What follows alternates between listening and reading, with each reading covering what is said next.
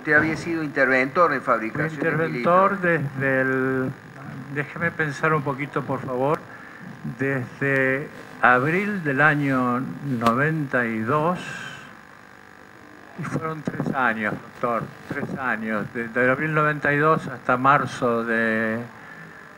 Casi, Casi sí, tres años. en marzo de 95 haber sido. El ex interventor de fabricaciones militares Luis Arlenga declaró hoy en la causa por las explosiones de Río Tercero en 1995. Aunque al momento de ocurridas estas ya había dejado el cargo, la querella consideró valioso su aporte. Se ha ratificado eh, de declaraciones que ha hecho con anterioridad en la causa y que tienen que ver con eh, las responsabilidades en la comercialización de material bélico que supuestamente iba a fabricaciones militares para ser reparado y en lugar de eso fue enviado al exterior. Eh, en alguna oportunidad reconoció que el destino era, era Croacia. Y este es justamente uno de los puntos para nosotros importantes que tiene que ver con el faltante material bélico, ese material bélico que supuestamente era enviado a la fábrica para ser reparado y en lugar de eso eh, se lo envió a, a Croacia. En particular se trata de, cañones, CITER y de obuses Otto Melara.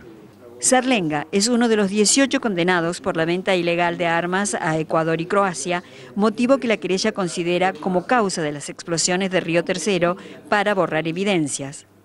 La defensa, en cambio, suele argumentar como causa de las explosiones la protesta de los trabajadores porque no cobraban sueldos. En su testimonio, Sarlenga hizo referencia a este tema, diciendo que la venta de armas se hacía para pagar sueldos, cuestión que los creyentes consideran como un gran desvío de la verdad real. Esta es una de las hipótesis que se intentó permanentemente entrometer en la causa, es decir, la responsabilidad de los trabajadores y o del gremio en las explosiones. Como protesta por la falta de pago de sueldos. Sí, sí, sí, esto es lo que intentaron. Por supuesto que está probado que no hubo nunca ningún reclamo, más allá de los normales, habituales de cualquier lugar, pero no hubo ningún tipo de conflicto, por lo menos en el momento de las explosiones, que pudiera llevar a semejante acto demencial, de por un conflicto gremial prender fuego a un lugar, a un tinglado lleno de trotil, de, de municiones, etcétera.